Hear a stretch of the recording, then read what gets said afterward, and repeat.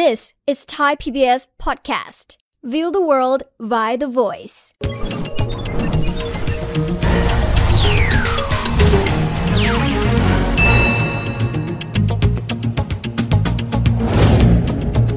สวัสดีครับ เข้าสู่เศรษฐกิจติดบ้านนะครับ วันนี้จะมาคุยกันถึงเรื่องของ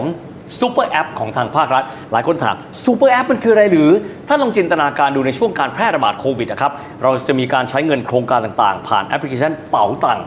หลายคนคุ้นเคยกันดี แต่พอมาทีนี้ครับรัฐบาลนี้อยากจะมีการใช้โครงการดิจิทัลวอลเล็ตนะครับ แต่ว่าบอกว่าจะไม่ใช้ซูเปอร์แอปที่เคยมีอยู่แล้ว นั่นก็คือเป๋าตังค์แต่ว่าจะมีการใช้ทางรัฐเป็นตัวเลือกด้วยนะครับ สิ่งนี้ทำไมเราต้องมีหลายอันนะครับแล้วถ้าเกิดว่าเทียบไปแล้วเนี่ยในเชิงเทคนิคและในเชิงวิชาการนี้เนี่ยข้อดีข้อเสียเป็นอย่างไร เรื่องของ digital infrastructure หรือว่าโครงสร้างพื้นฐานทางดิจิทัลบ้านเราเป็นอย่างไรทำไมเรามีซูเปอร์แอปหลายอันไปหมดเลยนะครับ พูดคุยประเด็นนี้กันกับนักวิชาการอาวุโส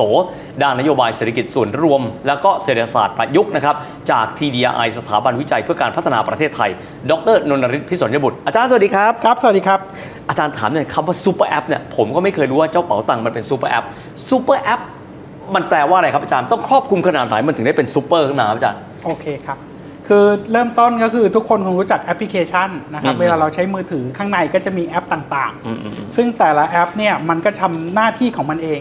นะบางตัวอาจจะใช้เป็นส่องกระจก บางตัวดูเวลาอืมบางตัวใช้แผ่นในการเข็มหาทิศอะไรว่าไปอ่เข็มทิศกระถูกนั้นเวลาเราพูดถึงซูเปอร์แอปก็คือไอเดียที่ทำไมเราต้องกดเยอะอ่าๆรู้สึกมันรู้สึกต้องหาหมุนหาอ่าเราจะทำอย่างโน้นอย่างนี้ทำไมเราไม่กดทีเดียวแล้ว มันมีทุกอย่างที่เราต้องการแค่โอ้อันเดียวละนี่คือครับแนวคิดเริ่มต้นของตัวซูเปอร์แอปนะครับผมเข้าใจว่ามาจากตัว WeChat ม ของจีนที่เริ่มต้นจากการเป็นแอปที่ใช้คุยกันนี่แหละ แล้วตอนหลังมันก็เพิ่มเริ่มเพิ่มระบบไหนๆคุยกันได้ แล้วก็โอนเงินผ่านกันด้วยสิพอโอนเงินผ่านกันได้ระหว่างคนสองคนแล้วทำไมไม่มีร้านค้าล่ะ มันก็เริ่มขยายวงก็จะเห็นว่ามันเริ่มจากแอปเดียวก็คือเรื่องของการที่พูดคุยกัน แล้วมันก็เพิ่มประสิทธิภาพของแอปอื่น ๆ ขึ้นมา เช่น คุณก็สามารถทำธุรกรรมทางการเงินได้ เปิดเป็นร้านค้าอะไรต่างๆ ได้ เพราะฉะนั้น concept ของซูเปอร์แอปก็คือการเอาแอปที่มีเพียงแค่อันเดียว สามารถที่จะครอบคลุมความต้องการใช้ในชีวิตประจำวัน โอ้ทีนี้อาจารย์ครับ เรื่องของวิวัฒนาการซูเปอร์แอปบ้านเราเราจะได้ยินอยู่อันเดียว ก็คือสามารถรองรับการทำธุรกรรมขนาดยักษ์แต่ผมเรียกอย่างนี้แล้วกันนะก็คือเป๋าตังค์เรามีอันนั้นอันเดียวไหมครับ หรือว่าเรามีหลายอันครับอาจารย์ซูเปอร์แอป คือมีความพยายามที่จะทำซูเปอร์แอปนะครับผมเอานิยามมาจับแล้วกันนะเพราะผมไม่แน่ใจว่าตอนที่ทางรัฐคิดเนี่ยอ่าภาครัฐคิดแบบนั้นหรือเปล่าอ่านะอย่างเช่นในช่วงของโควิด -19 จะเห็นว่ามีความพยายามที่จะสร้างแอปในเกี่ยวข้องกับด้านสุขภาพขึ้นมา หมอพร้อมใครทำได้หมอพร้อมอ่าที่จะดูว่าเราจะฉีดวัคซีนจะจองอ๋อวัคซีนครับจะออกเอกสารวัคซีน ก็จะเห็นว่าตรงนี้ก็มีลักษณะของซูเปอร์แอปเหมือนกันก็คือโอเคอ่าถ้าใครจำไม่ได้ตอนนั้นก็เป็น pain point มากๆ แล้วเรามีแอปที่เกี่ยวกับอ่า ด้านสุขภาพในช่วงโควิดค่อนข้างเยอะครับใครจำกันได้หรือเปล่าไม่รู้นะที่มี 7-8 แอปเลยที่ไปดูอะไรนะมีมีเรื่องอะไรนะหมอพร้อมหมอชนะมีอะไรต่างๆที่ตอนนั้นทะเลาะกัไทนยก็ไทยนี่แหชนะเลยละว่าทำไมเราเราถึงไม่ไม่รวมกันมาเป็นแค่อันเดียวอ่านนะถัดกันมาอีกนิดนึงนะฮะก็จะเป็นช่วงก่อนโควิด ก็จะเป็นเรื่องของอาเรื่องของการเงินที่อ่ามันเป็นเพนพอยต์ของประเทศไทยนะครับว่าทำไมเราถึงไม่สามารถพัฒนาพวกความรู้ทางด้านการเงินได้อืมมันก็ ทำไมเราไม่มารวมแอปล่ะครับที่สามารถที่จะอ่ากดทีเดียวแล้ว สามารถที่จะทำทุกอย่างได้อืมซึ่งก็จะเป็นตัวของอาอ่าของธนาคารกรุงไทยนะคอ่ารับครับที่พัฒนาขึ้นมาอืมนะก็จะเห็นว่าในแอปตัวนั้นมันทำได้หลายอย่างเลย คุณจะไปซื้อลอตเตอรี่ก็ได้ซื้อทองอ่านนะครับตอนเช้าวันนี้นะฮะมันก็มีขายพวกหุ้นกู้ใหม่ๆ ต่างอ่าๆฮะนะโอเคดังนั้นแม้แต่ประกันก็มีครับแล้วมันก็ผูกโยงกับธนาคารสามารถที่จะซื้ออาของต่างๆทำธุรกรรมได้ ก็จะเห็นว่าตรงนี้แหละพัฒนาการของไทยในเรื่องของแอปครับ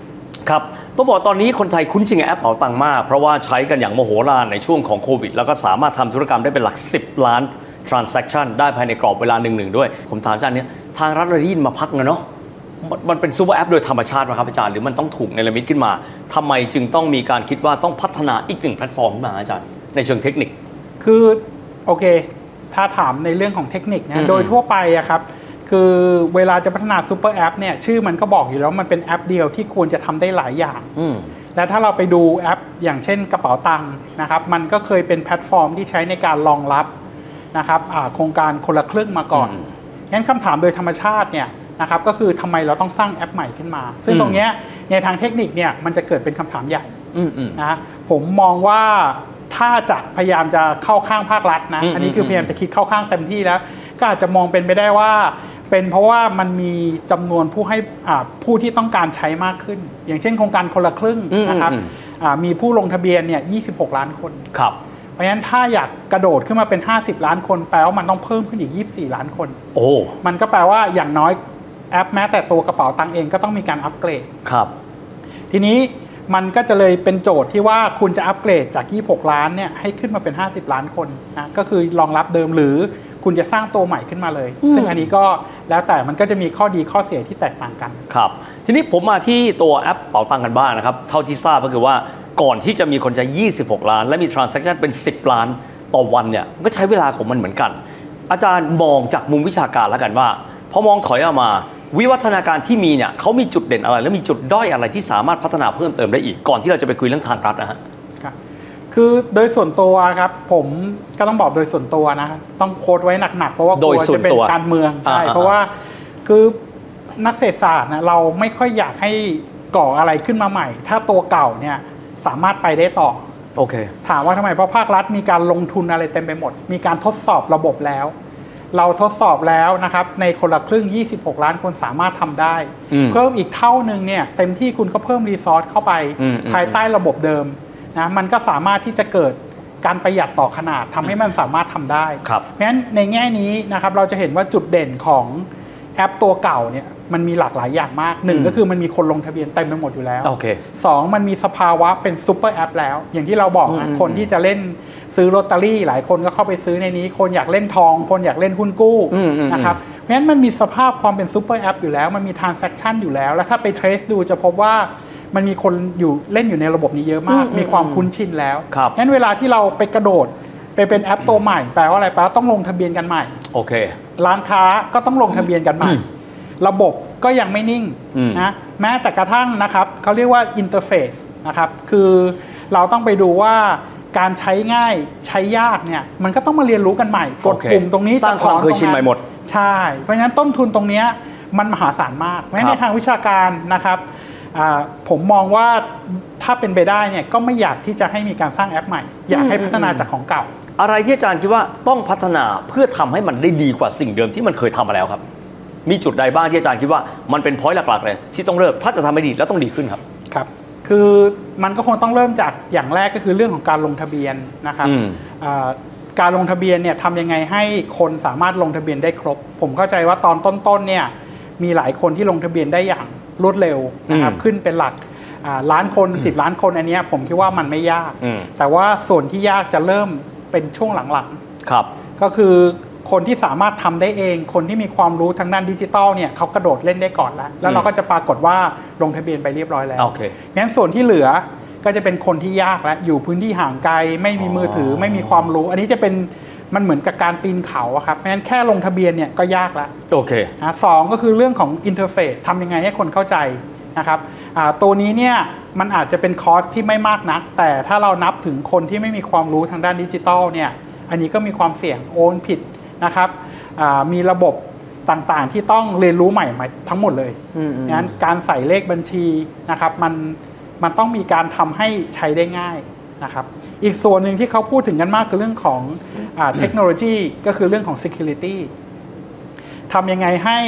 นะครับ เพราะว่าถ้าเราเปรียบเทียบกับตัวกระเป๋าตังค์เนี่ยมันถูกพิสูจน์มาแล้วอืมนะครับว่ามันไม่สามารถเสกเงินขึ้นมาได้ โอนไปแล้วไม่ถูกโกงอะไรต่างๆ นานาเพราะฉะนั้นทำยังไงให้ระบบใหม่มันสามารถป้องกันภัยตรงนี้ได้นะครับอืมอืมอืมอีกส่วนหนึ่งที่ผมคิดว่าสำคัญและเป็นโจทย์ความท้าทายเลยนะก็คือผมเข้าใจว่า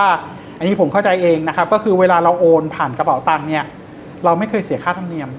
อ่าซึ่งแปลกไหมเวลาที่เราใช้อย่างเช่นบัตรวีซ่ามาสเตอร์การ์ดอะไรต่างๆเนี่ยอ่าเวลาเราจะโอนเงินมันต้องเสียภาษีค่าธรรมเนียมนะคครัรับบซึ่งมันเป็นการเบอร์ i ฟายข้อมูลตามหลักเทคนิคเขาเป็นอย่างนั้นอืมอืมอืมเพราะฉะนั้น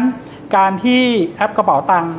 มันไม่ได้ถูกเก็บค่าธรรมเนียมเนี่ยมันสะท้อนให้เห็นว่าหนึ่งก็คือไม่ธนาคารแบกรับเองอ่าก็สองก็คือมันมีกลไกอะไรบางอย่างที่ช่วยทำให้มีเกิดประสิทธิภาพ โอเค ซึ่งผมเข้าใจว่าตรงเนี้ยถ้าเราย้อนกลับไปดูการสร้างแอปใหม่ก็ต้องตั้งคำถามนะครับว่าถ้าคุณจะสร้างให้คน 50 ล้านคนใช้นะครับมีการ transaction ไปมาคำถามก็คือ แล้วค่าธรรมเนียมตรงนี้มันจะสูงไหมอ๋อเพราะถ้าสูงไปเนี่ยมันก็จะทำให้ประสิทธิภาพของโครงการมันลดลงไปอีกตอนตอนนี้มีการเปิดเผยยังครับอาจารย์ว่าจะมีการเก็บค่าธรรมเนียมหรือเปล่า คือประเด็นปัญหาตรงนี้แหละที่สำคัญก็คือตามที่ผมเข้าใจก็คือว่ามันยังไม่มีใครมาพัฒนาอ๋อ นะเพราะฉะนั้นสิ่งที่ท่านลงทะเบียนไปปัจจุบันเนี่ยมันคือการลงทะเบียนเฉยครับมันคือการที่มีเลขรหัสแล้วล่ะว่าฉันจะใช้สิทธิ์เหมือนมีเลขบัญชีลักษณะอ๋อครับนั้น แต่สิ่งสำคัญอีกตัวหนึ่งก็คือเมื่อไหร่ก็ตามจะเกิดการแลกเปลี่ยนกันเนี่ยมันต้องมีคนมาพัฒนาระบบอืมนะซึ่งตามข่าวที่ผมได้มาในปัจจุบันเนี่ยยังพบว่าภาครัฐยังไม่ได้เปิด ยังไม่ได้เปิดเลยว่าใครจะเป็นคนทำครับ แต่ความยากมันอยู่ที่ระบบการแลกเปลี่ยนนี่แหละซึ่งมันก็จะมีพลวัตเหมือนกับเป็นธนาคารขึ้นมา ทีนี้จะทำอย่างนี้ได้เนี่ยแปลว่าอะไรแปลว่ามันเกิดความเสี่ยงทางด้านการเงิน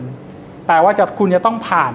ความเห็นของแบงก์ชาติให้แบงก์ชาติมา test ระบบก่อนแบงก์ชาติเขาก็ต้อง test ระบบเอ๊ะคุณลองใส่โค้ดโน่นนี่นั่นดูซิระบบคุณสามารถที่จะเพราะระบบมันก็จะต้องไปลิงก์กับการทำธุรกรรมของธนาคารอื่นๆที่มีอยู่ในบ้านเราด้วย ซึ่งตรงเนี้ยผมยังไม่แน่ใจว่าจะลิงก์หรือเปล่าโอ้นะคือตามข่าวเนี่ยเขาบอกว่าลิงก์แต่ส่วนตัวผมคิดว่าไม่จำเป็นต้องลิงก์เพราะว่าโอเคเพราะว่าเนื่องจากคุณสร้างเหรียญขึ้นมาเองใช่ไหมครับคุณสร้างเหรียญขึ้นมา5 0 0แสนล้านบาท มันไม่ใช่เงินบาทพูดง่ายๆก็คือมันเหมือนกับคุณสร้างอ่าดอลลาร์เยนขึ้นมาสมมติผมใช้ชื่ออย่างดอลลาร์เยนอืมเป็นเงินสกุลหนึ่งขึ้นมาเลยครับแล้วคุณก็จะแลกได้เฉพาะคนที่ถือตรงนั้น ระบบปิดเลยอ่าเหมือนคุณเป็นโลกอีกโลกหนึ่งเลยเพราะฉะนั้นคุณสามารถสร้างระบบปิดที่แลกเปลี่ยนกันเอง 50 ล้านคนนี้ได้ แล้วตอนจบ นะครับสมมุติคุณปิดโครงการแล้วใครที่ถือเงิน คุณก็เอามาที่ Exchange มาแลกเงินกลับมาเป็นเงินบาทเคลียร์แค่นั้นเองไม่มันโอเคไม่จำเป็นต้องไปแตะกับแบงก์เลยครับมันสามารถทำแบบนี้ได้แล้วมันมันจะเร็วกว่าด้วย เพราะถ้าเกิดว่าคุณไปแตะ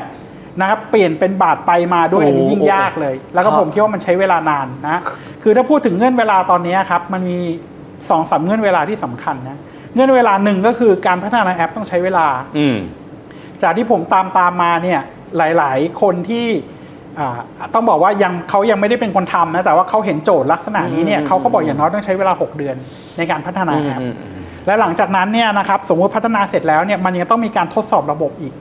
ซึ่งทางแบงก์ชาติเนี่ยออกมาเงื่อนไขว่าคุณอยากทดสอบระบบเนี่ยขออย่างน้อย 15 วันอะพูดง่ายๆก็คือ ถ้าคุณทำแอปเสร็จแล้วจะมารัน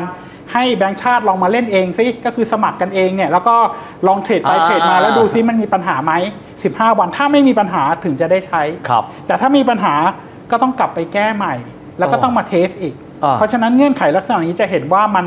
ผูกข้อมือพอสมควรที่จะพัฒนาแอปใหม่ขึ้นมาครับครับอาจารย์ครับทีนี้เอ่อส่วนหนึ่งเลยเราคิดมาปั๊บแล้วเราก็สร้างใหม่ขึ้นมา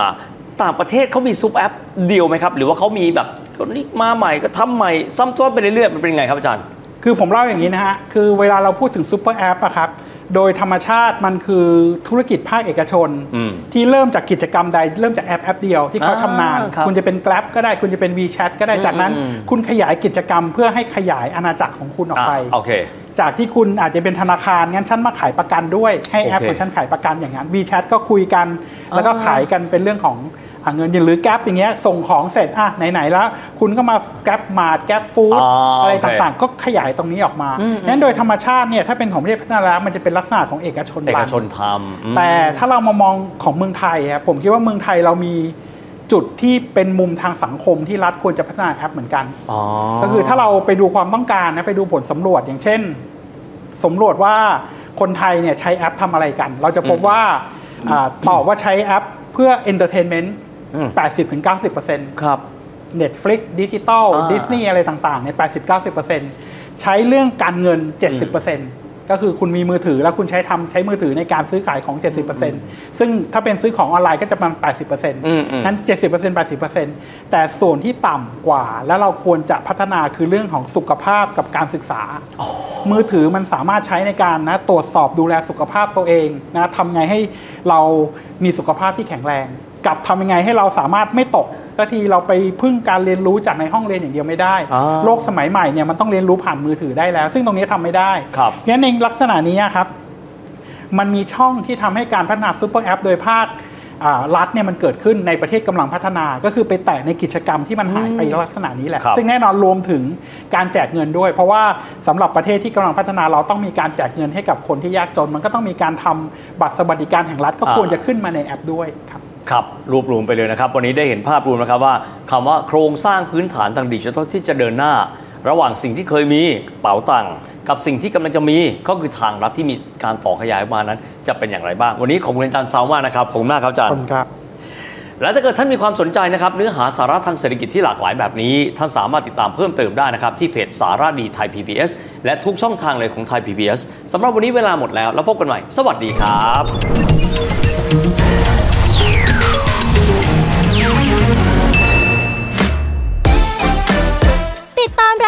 ของไทย PBS Podcast ได้ทางเว็บไซต์ www.thaipbspodcast.com แอปพลิเคชัน Thai PBS Podcast รวมถึงฟังผ่าน Podcast ช่องทางอื่น ๆ Spotify YouTube Apple Podcast และ SoundCloud